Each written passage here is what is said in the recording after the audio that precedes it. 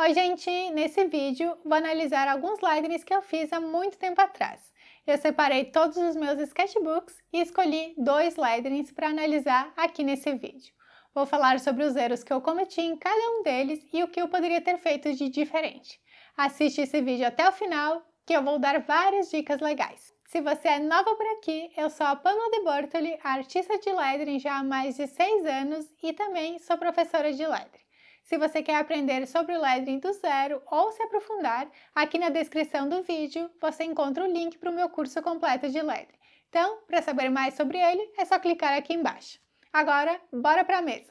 Então, esse aqui é o primeiro lettering que a gente vai analisar. Eu fiz ele lá em 2017 e a frase é: Seja o seu melhor hoje. Aqui em cima, no Seja, eu usei um estilo de letra maiúsculo com variação de espessura e serifas, um banner duplo, Aqui no melhor, uma cursiva com variação de espessura e aqui embaixo no hoje, uma maiúscula com variação de espessura. Então, antes de começar a refazer ele, vou analisar e dizer o que está errado, o que, poderia, que eu poderia ter feito de diferente. Então, deixa eu pegar aqui o lápis. Aqui na palavra seja, esse S, a parte superior dele está muito maior comparada com a inferior. Então, tem que arrumar ele. A letra E, a, a letra E aqui no seja, essa serifa não existe. Mesma coisa aqui no J.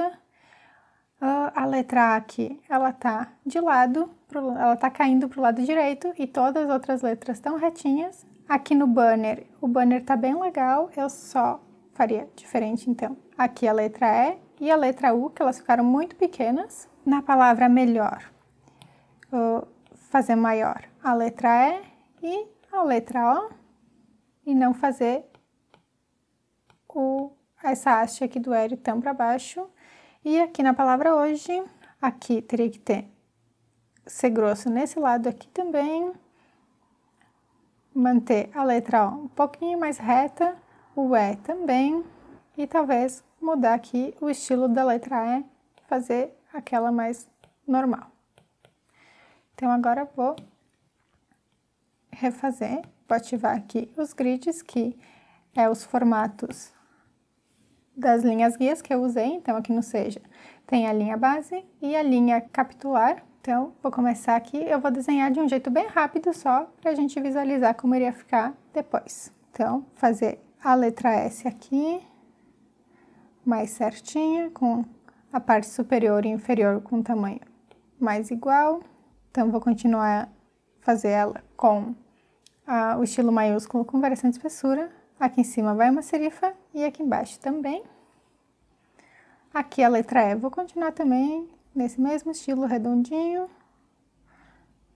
Adicionar a espessura aqui, serifa aqui em cima e aqui embaixo não vai serifa.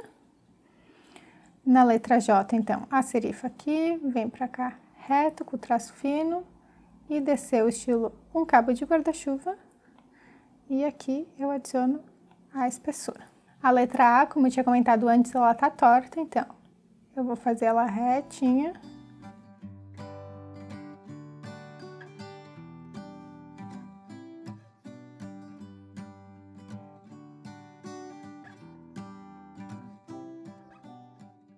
Ao invés de fazer esse A redondinho, eu vou fazer ele daquele jeito normal, no estilo triangular, porque eu gosto mais desse outro estilo. Então, eu gosto mais de fazer ele assim, agora.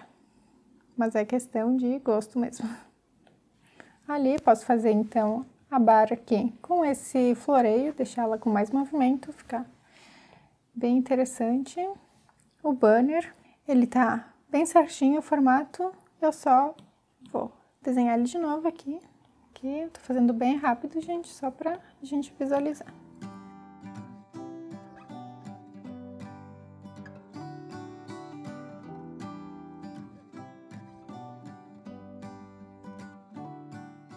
Quando a gente faz um banner, para escrever dentro dele, a gente precisa sempre primeiro fazer as linhas guias.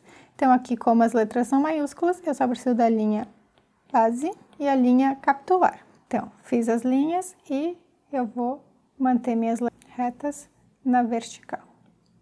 Então, aqui, seu, todas com o mesmo tamanho, sempre mantendo um padrão. Aqui a letra O pode ser cursiva. Aqui embaixo, no melhor, então, vamos fazer as linhas guias. Sempre antes de fazer as cursivas, eu recomendo fazer as linhas guias. Pode ser na diagonal ou retas na vertical. Elas servem só para a gente se basear na hora de fazer o rascunho. Então, mais ou menos, não tem uma medida específica entre elas, bem aleatório, só para a gente seguir na hora do rascunho.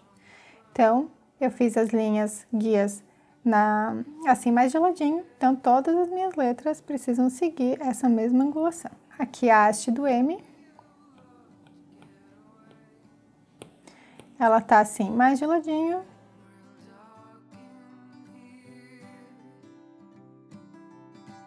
Então, vou fazer essa primeira subida do M um pouquinho maior, a segunda um pouquinho menor. A letra E vai vir até a linha altura X. A letra O vai subir lá em cima.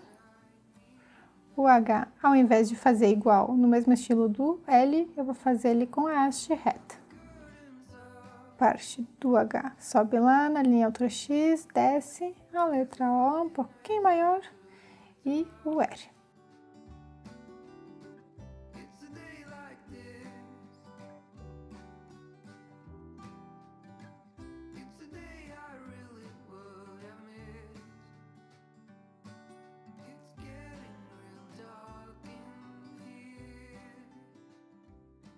eu sempre recomendo, então, fazer as linhas guias retas na vertical.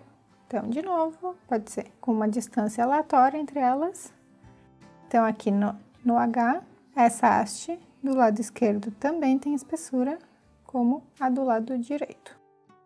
A barra aqui do H pode ter o mesmo estilo de movimento aqui da letra A, a letra O retinha,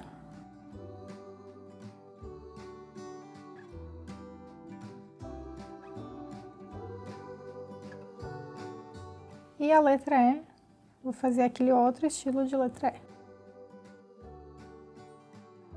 Então é isso, agora eu vou tirar aqui a foto do fundo e as linhas guias para a gente ver como ficou a composição.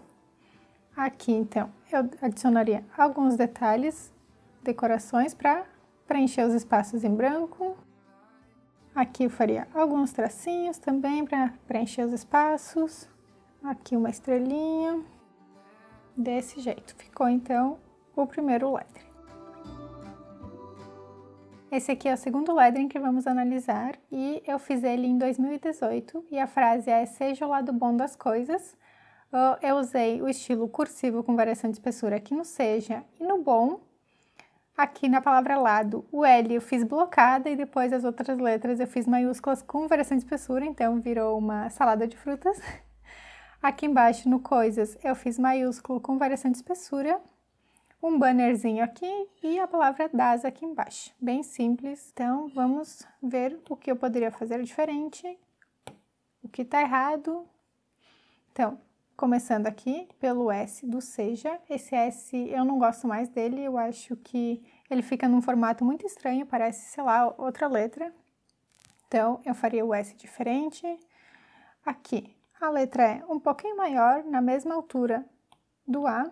Aqui talvez um círculo, então para preencher mais esse espaço. Na palavra lado, então manter todas as letras da palavra com o mesmo estilo de letra.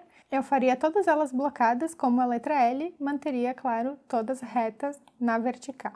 Então, um eixo igual para todas as letras. A palavra bom, eu acho que tá bem legal, só a letra O tá muito inclinada para o lado direito coisa que a letra B não tá e nem a letra N. E aqui embaixo na palavra coisas, fazer uma linha, manter todas as letras com a mesma altura. Então, a letra O iria ficar com a mesma altura da letra C. Aqui na letra A, fazer todos os lados da letra com uma mesma altura, então, porque essa haste aqui está muito mais curta que essa outra, então, manter um padrão nela. Também fazer todas as letras aqui da palavra retas na vertical. Aqui na letra S, a parte inferior está menor que a parte superior, então, fazer maior, mesma coisa nesse outro S aqui. Aqui, então, já marquei todas as linhas guias, os grids das palavras, então aqui no seja eu mantive as linhas retas, Aqui no lado elas estavam na diagonal, no bom também na diagonal e no coisas também na diagonal. Então, vou começar mudando aqui o formato da letra S, vou fazer ela maiúscula, com variação de espessura, então, aqui ela vai ficar um pouquinho maior que a linha base para preencher esse espaço aqui. Aqui a letra E, eu vou manter ela dentro das linhas, a letra J vai descer aqui embaixo. Vou de novo fazer bem rápido, que é só para a gente visualizar as mudanças. Depois, no outro vídeo, eu vou refazer um desses dois letterings. Aqui, na palavra lado, então vou fazer as linhas guias para eu me basear nelas, para desenhar as letras. Então, vou fazer toda a palavra lado blocada. As letras blocadas são aquelas que tem uma espessura igual em todos os lados da letra. Aqui eu vou manter esse estilo de letra A, mas eu vou fazer ela toda blocada.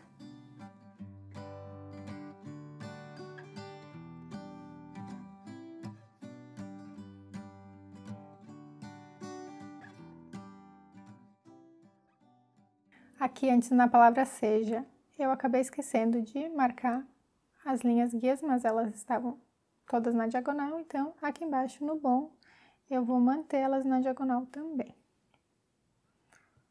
Como eu tenho a cursiva aqui em cima e aqui embaixo tem de novo, então manter um padrão de fazer na mesma angulação. Aqui na palavra bom, então, eu vou fazer um floreio aqui no início da letra B minúscula. Aqui a haste da letra B seguiu a minha linha guia.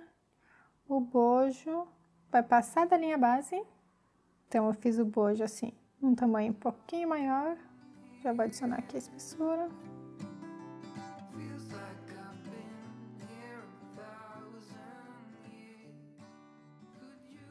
A haste aqui do M também, seguindo a mesma angulação. E eu vou manter esse floreio aqui embaixo. Ao invés do banner, eu vou fazer um círculo. Desse jeito. Pode ser só, então, a bordinha do círculo ou ele pode ser preenchido também. Então aqui eu resolvi colocar o círculo ao invés do banner porque o círculo ajuda a preencher mais o espaço que a gente tem aqui. Então quando a gente está criando a composição do lettering a gente tem que sempre prestar atenção nos espaços em brancos e tentar preencher eles. Então a gente pode fazer algum floreio nas letras, alguma decoração, um banner, um círculo então a gente tem que sempre tentar preencher os espaços para manter a composição bem harmônica. Aqui o das, eu vou manter ele bem simplesinho, com as letras bem simples, então aqui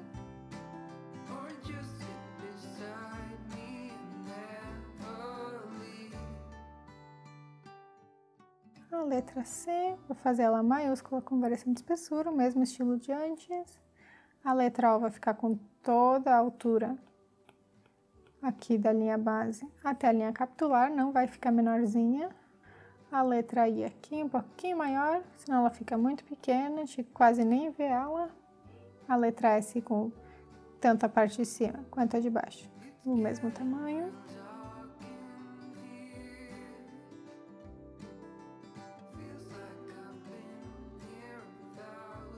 Eu consigo ver que tá sobrando espaços em branco. Aqui tem um buraco, aqui também, então vamos adicionar algumas decorações. Eu vou adicionar uma estrelinha aqui, que ajuda a preencher o espaço. Aqui a gente poderia fazer, talvez, algum detalhe assim, que não seja, poderíamos fazer, então, uns tracinhos só para decorar e chamar atenção. Aqui, alguns detalhes desse jeito, uma estrelinha. Então, vou tirar agora a foto do fundo para a gente ver como ficou. Então ficou assim esse segundo lettering.